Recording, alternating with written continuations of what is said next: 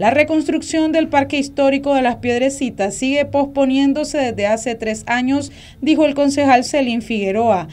Bueno, eh, en principio esta administración sandinista le ha mentido a los niños y a la familia de este distrito número 2, donde corresponde construir o rehabilitar lo que históricamente conocemos el, el Parque Las Piedrecitas. Eh, comentarte un poco que en el 2019, en el presupuesto del 2019, esta administración incorporó para poderlo rehabilitar, asignándole 58 millones de córdobas. Todos estábamos alegres porque ya a los niños no se les iba a violar el derecho de la recreación. Sin embargo, de, aquel entonces para acá se les ha venido violando ese derecho. Eh, todo 2020 no incluyeron eh, rehabilitar este parque. Hasta ahora eh, que se organizó lo que sería el presupuesto del 2021, lo que se va a ejecutar el próximo año, lo volvieron a incorporar. Esperemos que no nos vuelvan a mentir, pero lo incorporaron con apenas 30 millones de Córdoba, es decir, la mitad de lo que estaba previsto en el 2019.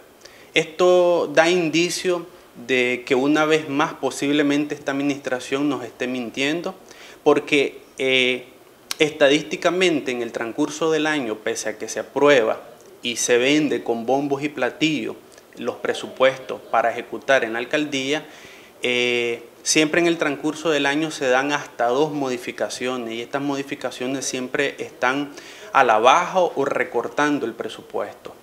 Y efectivamente, pues como te decía, esperemos de que no nos vuelva a mentir y esta vez sí sea serio que esta administración pueda rehabilitar el parque Las Piedrecitas que por muchos años nos han venido prometiendo. La promesa de la reconstrucción del parque se hizo desde que se estaba haciendo el puente de desnivel del sector, dijo el concejal. Posterior estuvieron argumentando que mientras no terminara eh, o concluyera este proyecto del paso desnivel, eh, no lo iban a, reconstruir, sin embargo, pues ya lleva uno o dos años que se concluyó la rehabilitación del puente desnivel y hasta ahora no han eh, cumplido la promesa de poder rehabilitar el Parque Las Piedrecitas.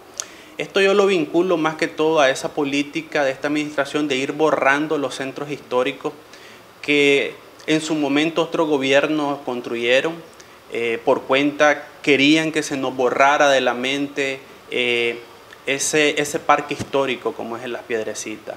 Eh, posiblemente quieran hacer un nuevo parque y renombrarlo de otra manera, pero siempre la ciudadanía va a recordar que este es el Parque de las Piedrecitas. Para Noticias 12, Castalia Zapata.